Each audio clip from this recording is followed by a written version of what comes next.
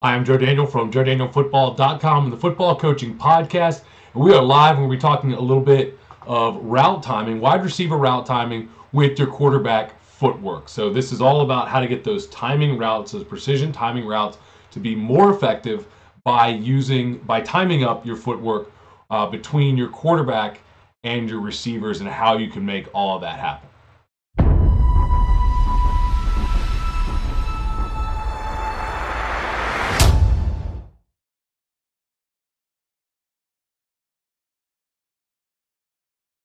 So this is all kind of based off of what we do in the pistol power offense system as far as the routes and things that we're going to be talking about. We're not going to get in depth on the routes. We're just going to talk about the timing. This will be fairly short, um, I think. Uh, we'll, we'll see, and then I'll answer any questions maybe at the end um, if we have time. Basically, what we're talking about here is that your routes that you're running, um, and certain routes are timing routes they've got to time up with the footwork of the quarterback so that the quarterback is releasing the football as the receiver uh, or even before the receiver is coming out of his break. And that's what we're going to try to make happen here. Basically, when we're looking at this, um, it's we're not R4, uh, and, and, there's a lot of other passing systems that are out there. The the thing you need to know is that like R4 isn't it's very good. Trust me, and I've had Dub Maddox on our podcast before. I love it. I think it's great stuff. Um, I've read the the manual and everything. Um, the timing, the the concepts we use in the pistol power offense system can be really easily integrated with R4 or probably any other decent passing system. They're not exactly what we use, but it's the same kind of concepts. You've got the rhythm and the um, so these are these are the routes that, and I don't know the whole R4 system anymore. We used it at one point. I don't I don't really remember it all. Um, but it would easily integrate. Any good passing system would would integrate here. But what we're going to do is time up these routes, our three steps and our seven steps, uh, and the routes that we're going to be running in three step, hitch, slant, speed out. There's a fade, but that's not exactly the same thing. I mean, it is, but it's not. Just be one, two, three, bang, you got to hit it in the right spot. Um, five step routes are going to be uh, the post, the curl, the deep out for us um, we don't have a dig necessarily. I mean, it's in the package. It's a tag. It's not a primary route. Deep out, um, which the timing would be somewhat similar, but that's a little bit different concept. Um, uh, the corner route uh, on a smash concept, and then a post corner, uh, which I won't get too much into with that. But we basically read half field reads. Um, we, you know, we've got three receivers to a side that we're looking at. So that's that's kind of how not trips like a, a back and two receivers. A lot of mirrored route concepts. Um, that's what we do in the pistol power offense system. But all of this holds true no matter what you're running. And if you want to check out the pistol power offense system, it's at pistolpoweroffense.com. Um, you can get instant access at a very low monthly rate, cancel anytime. Um, so check it out, pistolpoweroffense.com. The, because of the fact that we're talking about the wide receiver steps have to time up with the quarterback steps it's easier to get this timing perfect if you run from under center. And I know that goes against what everybody thinks. Um, you know, you got to be in gun to pass, da da da da. Um, we throw more out of gun. However, if you are able to get a quarterback who has perfect, essentially perfect footwork, uh, and I think this is probably why, for the longest time, you've seen more passing um, under center. You see more under center in the NFL because those are the guys who are going to be perfect. They've got a career on the line.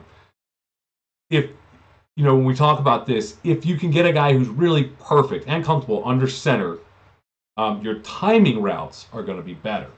Now you lose may lose something in downfield vision, but again, you know, if you've got a guy who can really, you know, eyes down the field all that sort of stuff, it's better. However, we throw mostly out of gun. Um, but because of the fact that you can really time your quarterback's drops can be very, very consistent one, two, three, four, five. And I can make that consistent. So, whereas anybody who's running gun below like the NFL knows that those gun snaps, while they may be very good, are rarely perfect every single time. And that's going to cause a little bit of a timing issue It's not big enough to where I say you can't do it out of gun. And like I said, we do. And pistol's the same deal. Um, guys talk about well, we pistol from the from three yards or four yards or five yards. Like if you're a pistol that's going to run the ball all the time, pistol option type of team, um, then maybe three yards is okay. We need to be at four, four and a half um, at pistol for for it to really be effective for us because we're still going to be a balanced offense out of it. Um, and within the pistol power offense system. So, to, so as I talk about all this, know that with the quarterback, we've found that the snap time is about two steps, equivalent of the first two steps of a three step or a five step drop. So that's where that's going to be accounted for if you're running um, from gun or from pistol. So here's how these routes time out and how they work. And let's start with a close this out.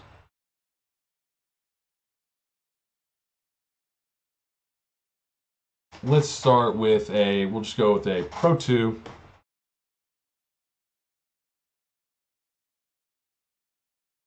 Um, and I'm just using PowerPoint, nothing special. I always get asked that.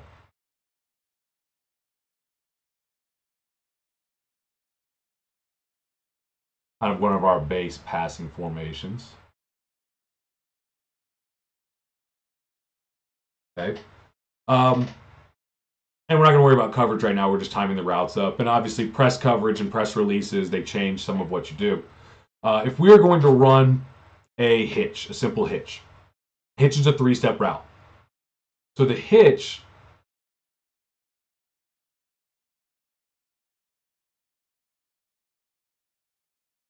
not going to be that precision. First of all, the hitch for the quarterback is going to be one, two, three, and release. And he should be dropping straight back. But this is a bamboo tablet. I mean, you know, what I'm drawing on. Uh, not, not that easy. Um,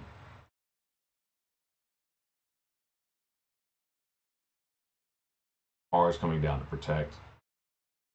So as he takes that three-step drop, if he releases the ball on the third step, and, and three step is a lot of pre-snap you know, I've got a corner sitting 10 yards off. I know I can throw this hitch right now. In order for the route to time up, I need this receiver to run one, two, three, four, five, and back to the quarterback. Uh, and that, what you'll find when you time that, and in order to look at this and to see if it's working, you want to stand coach. Coach wants to stand right here so that you can see what the quarterback is seeing as he's releasing this football. And he should be seeing the back of this receiver's helmet as he releases that football. Okay? He should be seeing the back of that receiver's helmet as he releases the football. And coach wants to stand right over here. And I got a ton of this from Bill Mountjoy, um, who does a fantastic job uh, and has done a fantastic job putting this offense together. And I've done a good job of stealing most of it. Um, and we're running probably even more. We're more Mountjoy East Coast offense, as he calls it, uh, than we've probably ever been, um, even in, in, recent years. Uh, and so if you're going to time the hitch up, three step drop, the break should happen at five. If we don't run a speed out, if we were going to run a speed out out there, it would be at five as well. We played with the slant. Slant is another three step concept. Fade is a three step concept, but again, it's one, two, three, and you're throwing it kind of to a spot 22 yards down the field outside. Um, we found that the slant did time up really well. We've always done it as a one, two, three, and 45. Um, and so what you're really throwing is you're throwing it as he breaks. Um, we did find that the timing was really good when we made this a five step. Uh, it really helped us get, you know, in a, in a situation where the corner is man or one on one. It really helped us throw this thing in a spot where the corner didn't have time to drive on the slant. What it didn't like so much was that that depth uh, let us kind of end up with the strong safety or the free or you know strong safety or outside backer in a position to really hammer.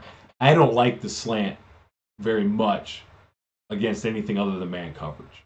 Um, and I like if I, I love the timing of this route. We don't throw a ton of slant. We never have. Um, we threw it more in seven on seven because we're getting a lot of two man type stuff. Uh, but you know, I would like it with a five step and a three step against man, double slant. I might like that because that's going to pull this OLB here. It's going to break before the corner has a chance to drive on it. We'll be able to hit it right there. Um, I don't like the slant with the three step or the one step because it comes in so fast. Now, the one step catch and throw, if you know that it's there, I think it's a little bit better. Uh, but that's how the five step routes time up. Now, check.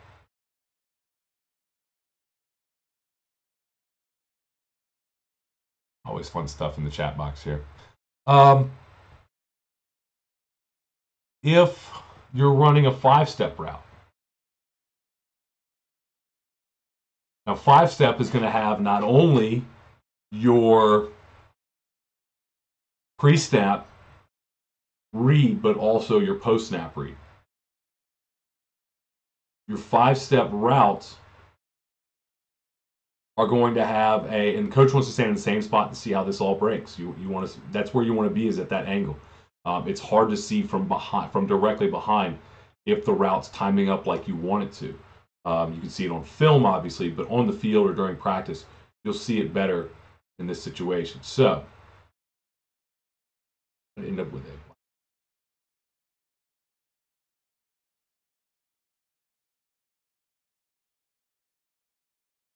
So now our quarterback one, two, three, four, five.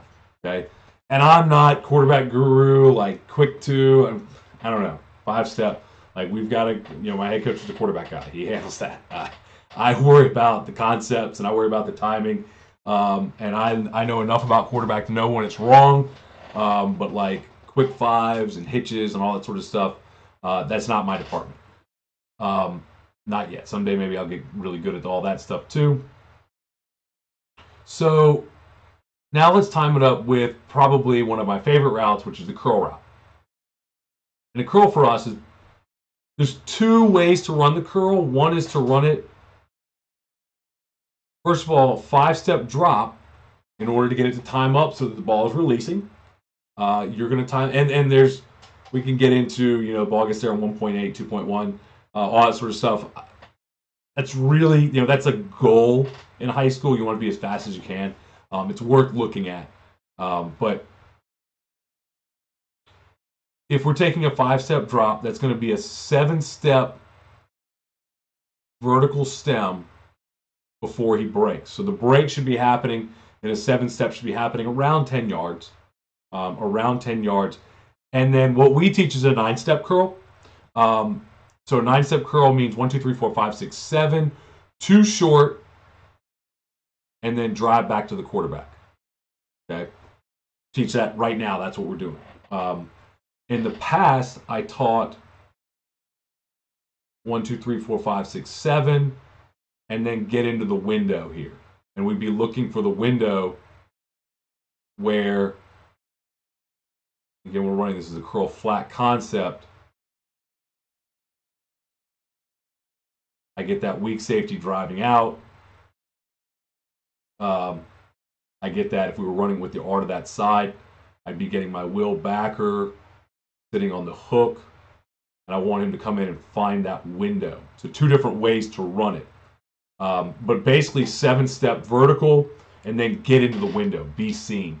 Uh, and we've got a shoot route, which is uh, getting width. Uh, and we read it inside out. We would, we would read it on the check release by the R to the curl to the shoot. So five step concept passing times up with a seven step route stem. And that's pretty universal. Um, that's pretty universal. Our deep out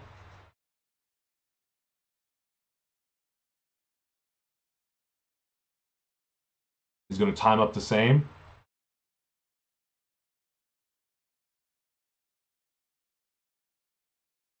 We're we're going to get one, two, three, four, five, six, seven. And again, it's a straight stem. I just can't draw a straight line with this thing. Uh, eight step is coming across, and the deep out should break at 10 and then end up at 12. It's more of a speed cut than a, than a sharp cut. Um, and that's our deep out. But it's again, at seven, he should be releasing the football so that when we release the football, he's about right here. And so that as the ball is released, he hasn't even broken yet. And that's how you create the separation from the defensive back. I think one of the things that you do to create separation is you build it into your system. Um, post, same thing. Okay, post out concept. Again, all of this is inside of our Pistol Power Offense system. You can go to pistolpoweroffense.com and get instant access, learn all about it. Just check it out, pistolpoweroffense.com. You can get um, instant access, get access to everything for a very low monthly rate, uh, and it's no contract, cancel anytime. Uh, check it out at Pistol Power Offense System. We would go one, two, three, four, five, six, seven in a straight line, preferably. The break is happening around 10 to 12 yards, and then he's breaking. And what we want to see is again that break happening, and it's going to be the same deal where that um, seventh step, with it being an inside breaking route, is slightly different. But that seventh step, um, as he hits on that, now he's driving to the post. Uh, we want this to be a sharp, so it's probably it's going to have a just like the curl. It's really going to be a nine-step post. It's going to be one, two, three, four, five, six, seven, eight, nine post. Um, if we can do that, or we can roll it over. Uh, I don't know. I, I decide exactly, you know, how sharp does the cut need to be? Um, can he just speed cut this and ends up being like a, you know, I think there's a couple different ways to do it. Uh, but the key is I want to throw it right here so that that corner does not have time. Ugh. That corner over top, thinking it's thinking it's a go route, doesn't have time to drive on it right now. Now, obviously, I need a free safety, not be sitting here for this. But this ball should be thrown well before it gets into the free safety uh, if we're reading it right, if we're doing right. So yeah, curl deep out corners, the same deal, seven steps, break it to the corner.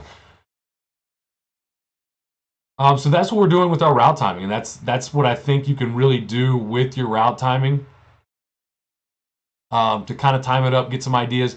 The other thing is, don't take what I said or what I say or what Bill Mountjoy says or what you hear in any clinic or anywhere. Um, it's just like in the video where we talked about uh, running back timing, which is on my YouTube channel, joedanielfootball.com slash YouTube to check that out. You know, we talked about you've got to go out there and you've got to experiment um, and you've got to figure out exactly what works best for your guys, um, what does best for them if you go out there and you've got legit D1 six foot five Calvin Johnson Greek god standing out there at X, and you've got regular old high school five foot nine, four nine forty cat sitting out at Z. Their routes will not time up the same. they will not be exactly the same. You may not get the same depth that you want. You may not get the same reactions that you want. So don't be afraid. Now, ultimately, adjust the receivers, get the quarterback consistent. You want the quarterback to be one, two, three, four, five, whatever it is that he does, consistent. Adjust the receivers, and again, adjust each one individually. So don't, you know, sit there and say, hey, on a post, we're doing seven. You know, each route has different stuff, but don't say, hey, on a post, uh, you know, it's seven unless it's a little windy and then it needs to be eight and a half because that's going to be different. And you can't do all that. Um, but you can take a very talented uh, receiver and adjust his steps. You can take a less talented receiver and adjust his steps, or a smaller receiver, so that they end up timing up correctly. A lot of guys say, well, your quarterback needs reps with his receivers. I agree with that. But I want his post or his curl or his corner to be the same spot wise, whether he's throwing it to the stud or the high school program kid. And so I want to adjust those receivers to get it right. Now I'm not gonna have time to work with. Uh, I may not have time to adjust every single receiver, um, but I can get the ones that play. Uh, all right. If you have anything you want to put in the comments here, I'll take a couple seconds to look at some questions um, or post it in the chat. And let's see. Go on here.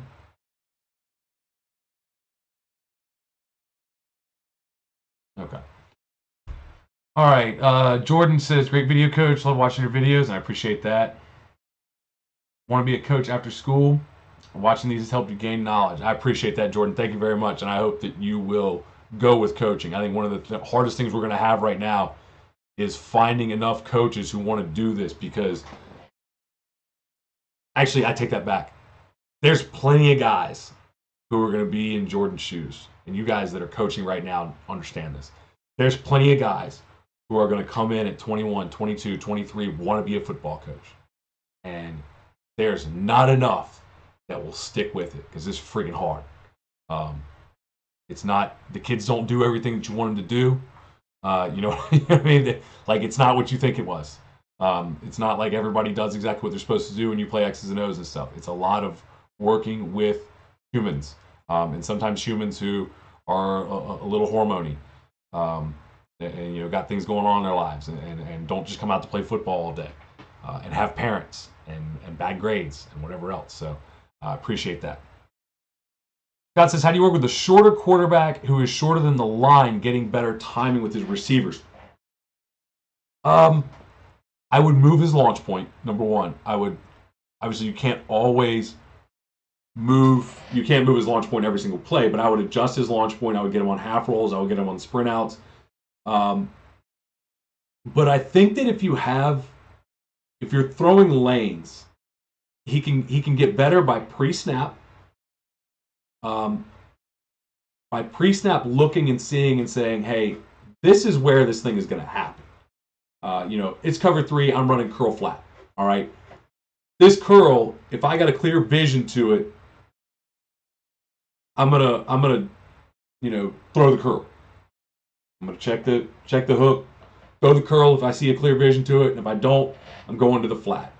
And, and what I've found is the flat is usually open enough that you can throw it in a spot where um, where you can get to it. And that's like, for example, in the curl route. What I would say is number one, if you got a short quarterback who can't see very well, go very simple. I'll cover three con like if I'm playing a cover three team, I'm running curl. Like I'm running curl. And I'm getting him great at time. If I'm running uh, uh, uh, you know, a cover two team, I'm running smash, and he's knowing that, hey, I'm going to check the, the, you know, the nice thing about the corner is you don't have to worry about hitting somebody throwing your passing lane. Um, but I'm checking, you know, is the smash open? If it's not, I'm checking down to the hitch. Hitch should be there. If nobody's underneath the, the smash or the corner, then I should be throwing the hitch. I would give him very limited passing concepts. If you have a quarterback who has trouble seeing, give him very, very limited passing concepts so that he can learn without actually visually seeing it perfectly. He should still be able to get a feel for it, but without actually being able to visually see everything perfectly, I know where everyone should be. And when he masters the curl, I go on. Curl's my favorite cover three route. As he masters the curl, I go on to, you know, the next thing, the next thing, deep out. Um, deep out's another cover three. Um, Poco is a, is a man in the cover two beater. I start with Smash and I go to Poco. Uh, within the pistol power offense system, that's what we use. So that's what I would look at, um, Scott, with that.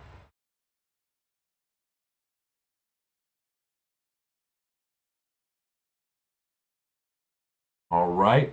Uh, let's see here. A couple other chat, a couple other things in the chat. Um, Appreciate your time. Uh, David says he's a high school defensive coordinator and running some of our 33 stuff. Awesome. Thank you very much. I appreciate it. Um, we have the 33 stack defensive system as a part of JDFB Insiders um, and really meshes with the 425 system, the 33 system, the 34 system are all. Uh, so I appreciate that very much. All right, guys. Um, I appreciate it. If you have anything you want to ask about, post it down in the comments and also like and share this video if it's been helpful to you, if you know somebody else who would enjoy it, please share it. Uh, like it if it's been helpful to you, and I appreciate your time. Uh, Jason says best cover two beater, cover two beater, like I just said, smash concept. Um, smash concept, best cover two beater. There's vertical stretch for me. Um, we're mirrored routes. Uh, like it, love it. Stick with that. Um, it also gets you know the way that we run it. We get a guy going down the middle of the field too that can be there. Uh, do you think bad? Uh, Chin says, do you think bad offensive line affects route timing and route combination? Yeah, I mean it has to. Um, if you have a bad offensive line, you may not be able to run five-step concepts. You know, I mean, we're talking bad, right? I'm, I'm assuming we're talking bad. Um, because three-step I can just cut, right? Three-step I can cut or quick set. Um, three-step I should be able to get the ball out. If we're in gun, it's catch and throw. I should be able to run my three-step concepts. I should be able to run hitches. Uh, I should be able to run looks to the outside. I should be able to run um, slants. I love slants, but if I if all I can throw is three step, you know, a slant is a is a perfectly capable. Again, get great at it. Perfectly capable um, concept as a cover three beater. So is hitch. Um, up is up. Uh, four verts is a potential cover two beater. Even um, gives you something to go with. Slant is a potential really a good cover two beater. Um, I'd probably have to tag some stuff. Um, so I might run four verts with an out. It might be something to do. Um, run the ball though. Um, yeah, it's definitely gonna affect you. I mean, there's no way around it. Like, and you can sprint out, cut it down to half field reads if you got a quarterback who can get out there and, change the launch point. But with a bad offensive line, I mean, yeah, it's definitely it's a it's a huge problem, um, and it's the first one you need to address. That's absolutely the first thing you need to address because you're not going to get the same route timing if you've got hands in your face. Um, you want to, like I said before, with short quarterbacks, it's the same with with poor protection. He's not going to get a good look. I need him to be confident and stand in there, so I need him to know where everybody's going to be. So I need to run simple route concepts where he is going to know where everything's going to be, even though there's people in his face, and get rid of the football on time. I think if you get rid of the football on time, it will negate a lot of your offensive line problems. Um, so far this year, our quarterback, for the most part, has done a good job of getting the ball out quickly, and it is it has helped us as our offensive line has had to improve on our pass protection. Our pass protection last year was non-existent. We're getting better as this year goes on, but it's certainly helping when our quarterback gets the ball out quickly. Um, and it's because I think he has a good understanding of our system right now. We haven't we haven't given him a ton of stuff to learn. All right, last one for man coverage in a 33 stack versus doubles. What levels do the strong safety and corner play at? Depends on if you want to run press or off, um, and if you're running cover one or, or cover zero. I usually play cover one um, against two by two in the 33 stack, and I like press coverage. Now, if your guys aren't used to playing press coverage, they can get beat quickly. If you teach them to be very good at press coverage, then it's very good. Uh, it's about how much time you're willing to put into it. If I'm playing press coverage with my uh, corners, then I play my OLBs or or um, strong safety, weak safety at seven yards off the receiver.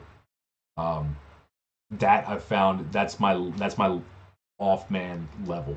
Off man is probably six to eight so I mean, if you're gonna play off man, I might play six and eight, six on the corners, eight on the safeties.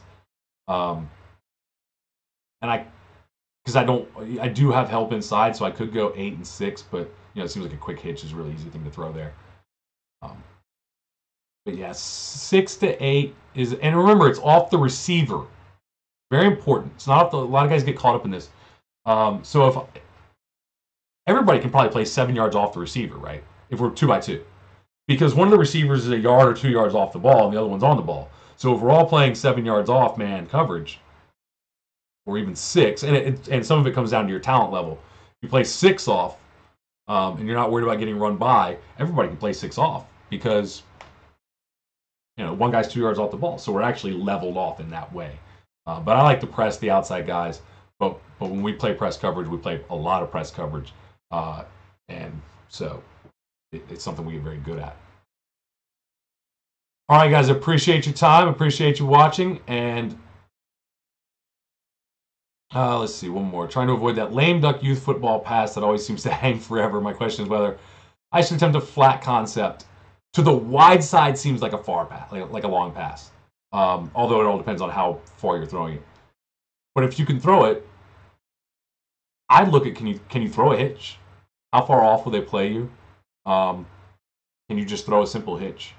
Um, and if you can't, can you throw a slant fat, uh, slant flat, um, or can you throw a um, up uh, uh, a bench concept where you've got a go and an out, which is basically you know, like a five yard out?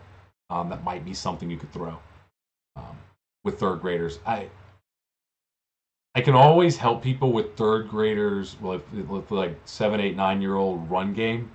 Um, there's so much variation in the passing because you got some kids that can throw and some kids that can't. So, um, you know, at that level, some kids can hold a football and some can't. Uh, so it's hard to say, but I would experiment with it. I would probably try to throw mostly to the short side, but I would experiment with it. All right, guys, thank you very much. Appreciate it. I've hung on longer than I can because I love doing this stuff, and I hope that it's been helpful to you. Uh, thank you for watching. Please like and share. Check out joedanielfootball.com and also check out the Pistol Power Offense system. Go to pistolpoweroffense.com to get all the details on that. Uh, you can also get access to all of our systems in one simple step uh, by going to joedanielfootball.com clicking on the join button at the top. Tons of stuff in there for you. All of our uh, different coaching systems there. Uh, they all intertwine together. So check it out. Thanks for watching. Uh, and remember, coach simple, play fast, win.